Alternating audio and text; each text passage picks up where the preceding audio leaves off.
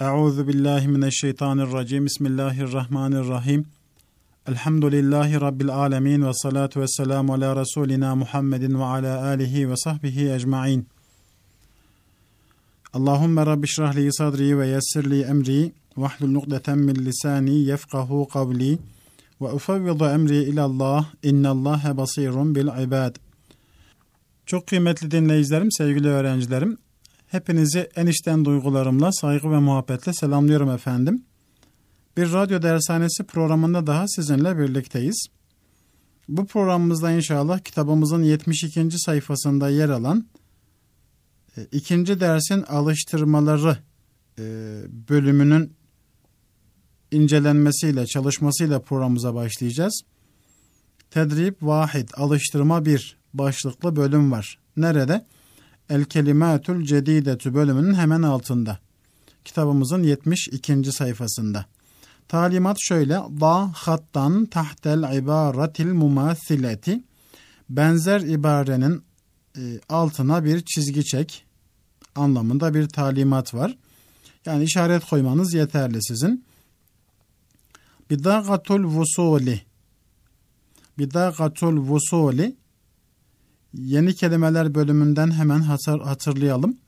Ee, anlamını verdik size. Parçada da geçti. Bidagatul vusul ne demekti? Giriş kartı.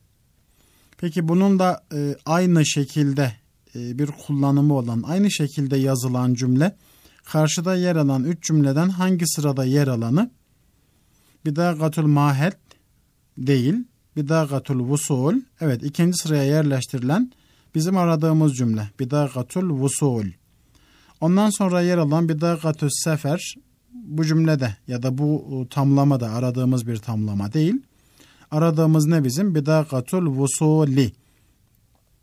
İkinci sırada yer alan cümleye işaret koyabiliriz. İki numaralı cümleye bakalım. Matarul hurtumi hartum hava alanı. Matarul hurtumi hartum hava alanı. E, bu ifadeyle aynı olan ifade hangisi? Yani üç cümleden ya da üç e, ifadeden hangi ifade? Matarul Kuveyt bu aradığımız değil.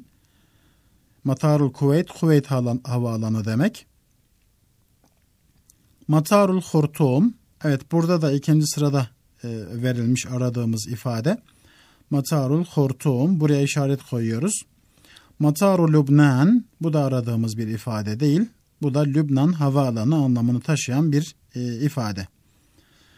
Üç numaralı bölüme geçiyoruz. Muvazzaful cevazati anlamı neydi bu ibarenin? Muvazzaful cevazati pasaport memuru anlamını taşıyordu. Muvazzaful cevazati pasaport memuru.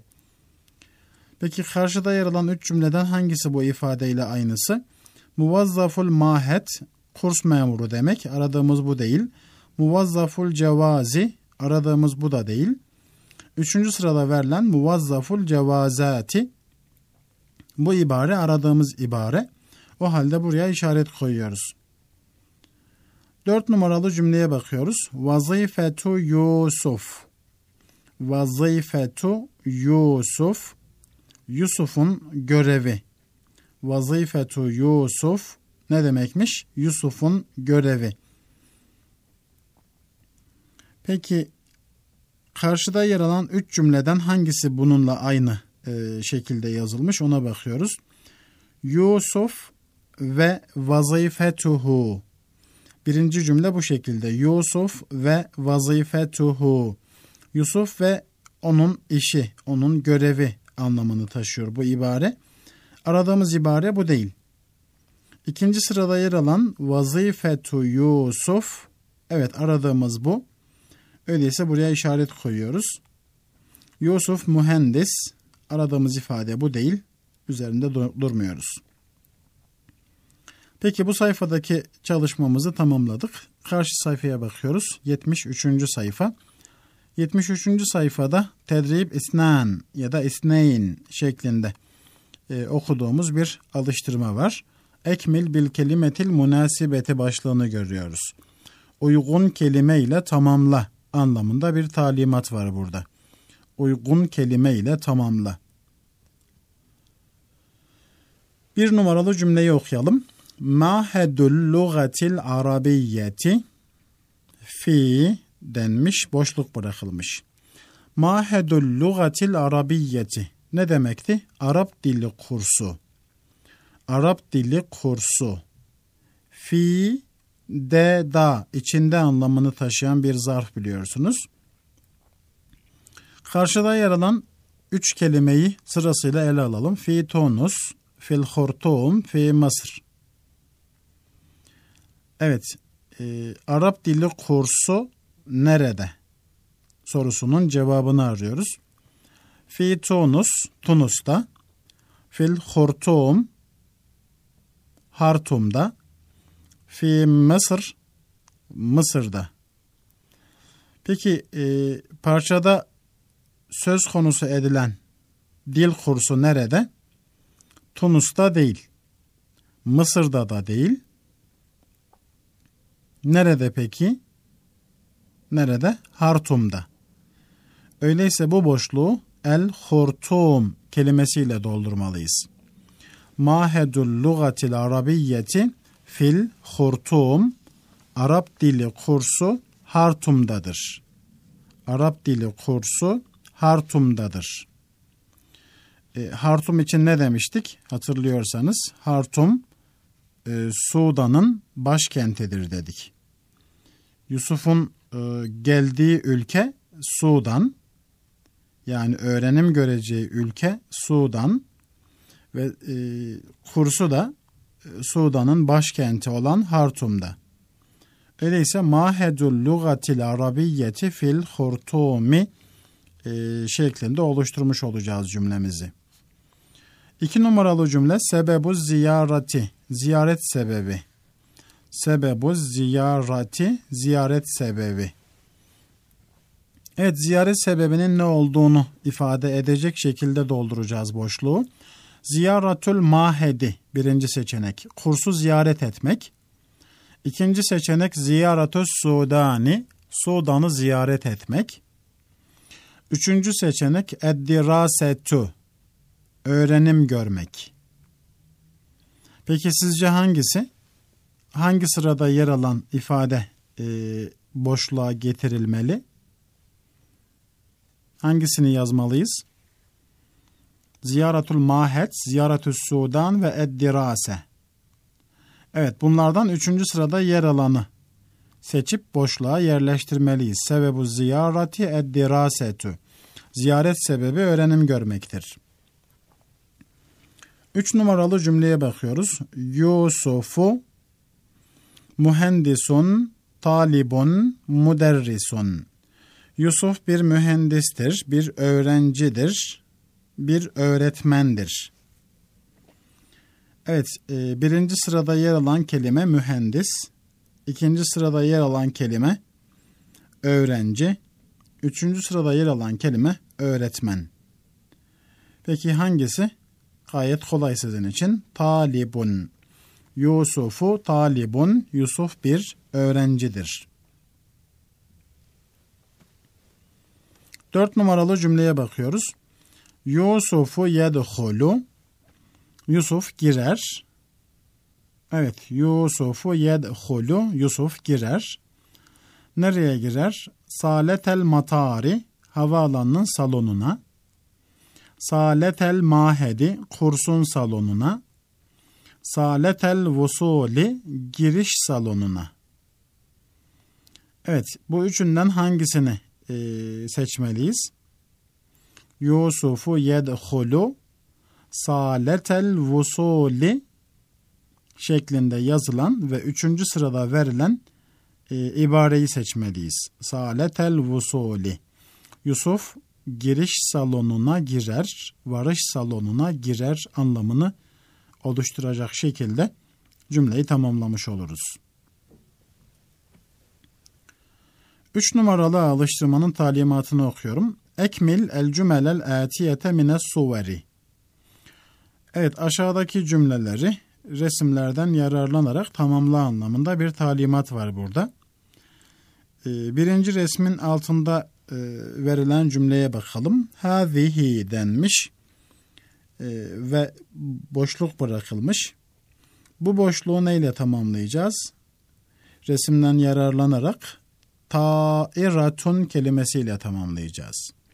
Hazihi tairatun. Bu bir uçaktır. Hazihi tairatun. Bu bir uçaktır. İki numaralı cümle. Haza. Evet bu bir havaalanıdır diyeceğiz. Havaalanı neydi? Hemen bir önceki sayfada 72. sayfada yeni kelimeler e, bölümünün bulunduğu e, yerde kaydedilen ilk kelime matar görüyorsunuz orada. Çerçeve içerisinde verilen kelimelerin ilki matar. Haza matarun. Bu havaalanıdır. Üç numaralı resim. Hazihi. Evet resimde verilen e, şey nedir? Yani o çerçeve şekline benzeyen e, şekil nedir? Bir kart, bir karto, e, giriş kartı. Peki bu bir karttır anlamını oluşturacak şekilde e, bir cümle oluşması için boşluğu neyle tamamlamalıyız? Bidakatun kelimesiyle tamamlamalıyız.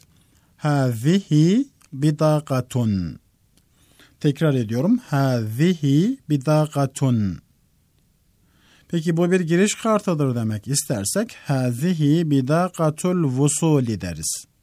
Hazihi bidakatul vusuli. Bu bir giriş kartıdır anlamını taşır cümle.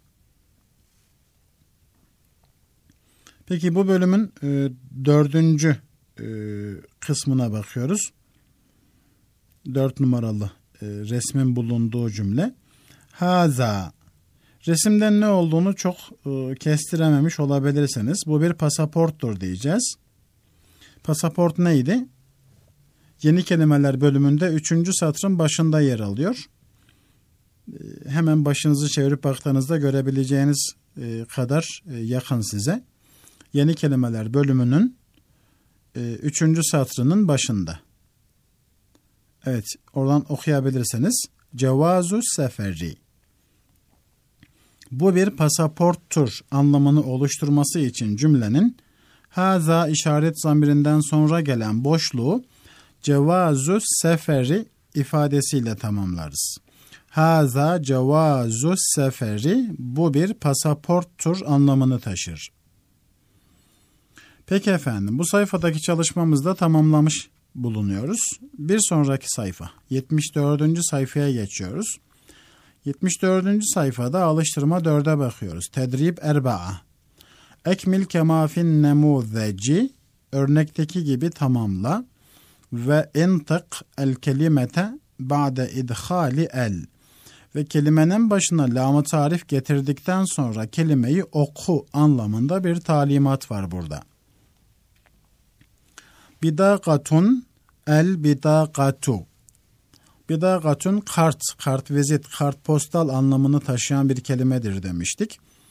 Peki belirlilik belirsizliği bakımından nasıl bir isimdir bidakatun? Nekra bir isimdir çünkü başında lam tarif yok. El bidakatu ise belirlilik belirsizliği bakımından marife bir isimdir çünkü başında lam tarif var. El bidakatu. Birinci kelime muvazzafun. Başına lam tarif getirip okuyalım. El muvazzafu. Mektebun. Ben nekrasını söyledikten sonra siz marifesini söylemeye çalışın. Mektebun. El mektebu dediniz değil mi? El mektebu. Üçüncü kelime mahedun. El mahedu. Dirasetun dördüncü kelime. Dirasetun başına lamı tarif getirip okuyoruz. Ed dirasetu. Ed dirasetu. Beşinci kelimeye bakıyoruz. Cevazun. Lamı tarif getirdiğimizde başına nasıl okuruz? El cevazu. Altıncı kelime seferun. başına lam tarif getirdiğimizde el seferu diye mi okuruz yoksa es seferu şeklinde mi okuruz? El seferu şeklinde okuyamayız çünkü sin harfi şemsi bir harf. Bu sebeple es seferu diye okuruz. Biraz önce geçen dirase kelimesinin başına lamı tarif getirdiğimizde el dirasetü şeklinde okumadığımız ed dirasetü şeklinde okuduğumuz gibi bunu da el seferu diye değil es seferu diye okuruz. Çünkü e, sin harfi, dal harfi bunlar şemsi harfler.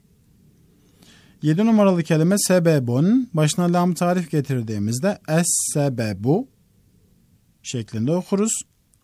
8 numaralı kelime olan saletünün başına lam tarif getirdiğimizde es saletu şeklinde okuruz. Anlamlarını hemen hatırlayalım. Muvazzaf bir numaralı kelime memur. Mektep, masa ya da ofis, büro. Üç numaralı kelime mahet. Ne demekti mahet? Kurs demekti. Dört numaralı kelime dirasetun. Neydi anlamı? Öğrenim görmek. Beş numaralı kelime cevazun, pasaport. Altı numaralı kelime seferun, yolculuk, sefer. Dilimize de geçmiş zaten sefer kelimesi.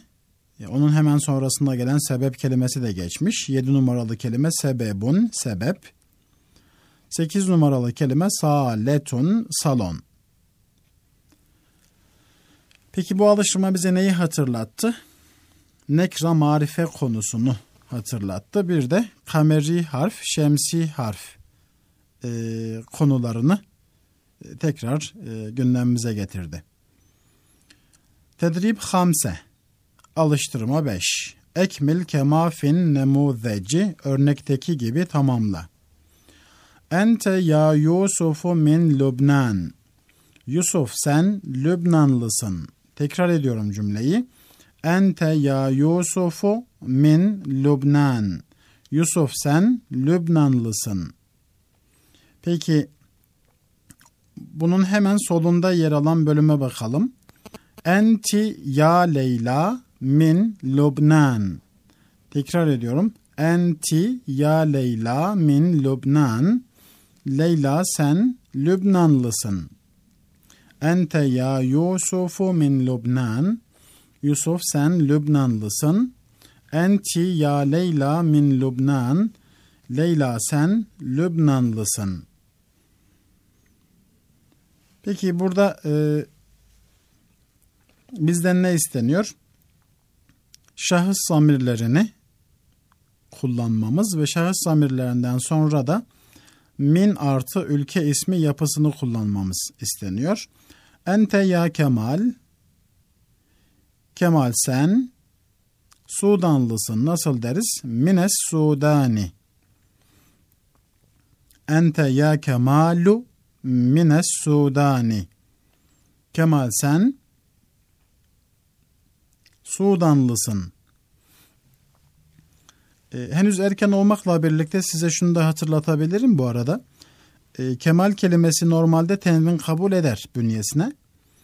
E, daha önceden de e, bu konuyu gündemimize almıştık hatırlıyorsanız. Hangi özel isimler bünyelerine tenvin, tenvin kabul eder, hangileri kabul etmez hususunda e, bunu semai olarak, duyuma dayalı olarak öğreneceksiniz demiştik.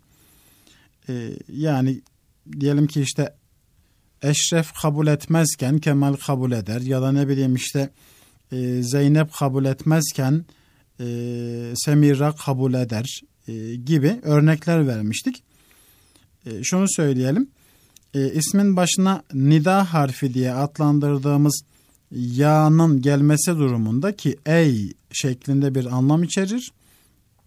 Dikkat çekmek ya da işte sana söylüyorum, sana sesleniyorum anlamını e, kazandırır kullanıldığı bölüme. E, bana bak yani hey sana sesleniyorum gibi bir e, anlamı ortaya koymak için kullanırız ya'yı. Başında ya nida harfi.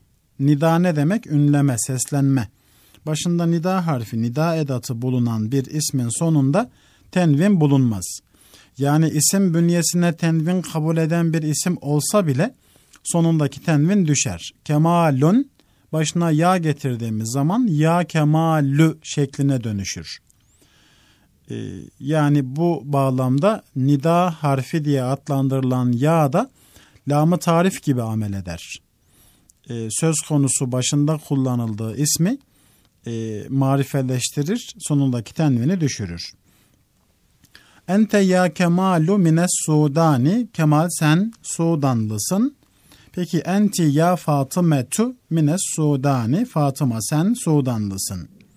İki numaralı cümle ente ya semiru. Dikkat edin ya semirun değil ya semiru. Ente ya semiru min Mısır. Semir sen Mısırlısın.